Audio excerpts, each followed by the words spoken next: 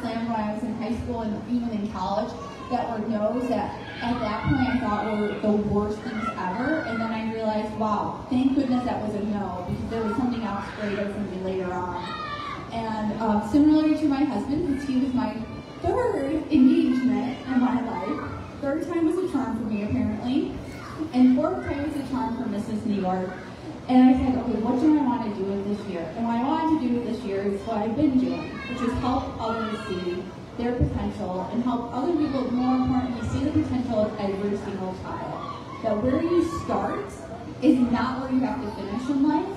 And the most important thing to change that is having a supportive environment. I'm so proud to come from here because I know that it was the people in this community who affected me, who helped me, who helped grow me into the woman I was and saw my potential before I saw it myself.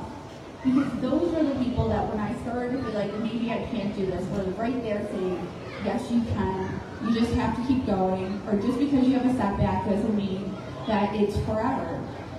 And the most other thing I always like to tell kids is, I have this big shiny crown, right? And it actually gets very heavy. But the crown is not, I won this crown. But I can tell you, standing on that stage three other times, watching someone else get crown. That doesn't define me. That the, my mission was bigger than just the crown. And the crown is just an outward side of something that's really internal. Because even when I didn't win those years, I was still doing the same work. And because we all have something to give to our communities. We all have something to share.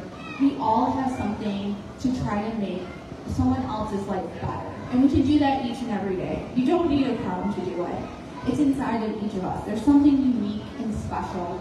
Um, the one I always like to say that some people get and some people don't is a little, like, I'm a little too old sometimes, but my baby cousin, who is now going to graduate high school, but when she was little, she loved My Little Pony.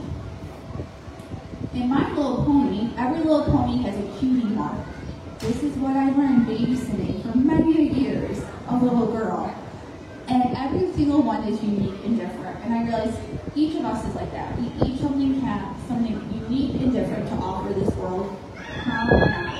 And so one of the things I was trying to encourage people is to always smile, always engage with kids, because you don't know what their backstory is.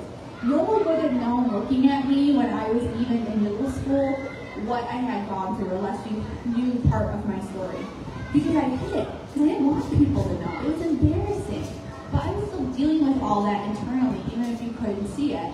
And it's the people even then who didn't know what I was going through, but smiled at me, believed in me, saw my potential. And then when they heard my story, they were like, wow. Those are the people who really inspired me. And so that's what I try to do to everyone I meet, because I think that that's the most important thing that we can do each day. And beyond that, my best advice to people is to just keep trying. Because sometimes you don't get it the first time. But you never know the impact you'll have or the ripples that you'll create, even when you don't win. So thank you all so much. I'm so excited to be here with you all and to be home. Um, and I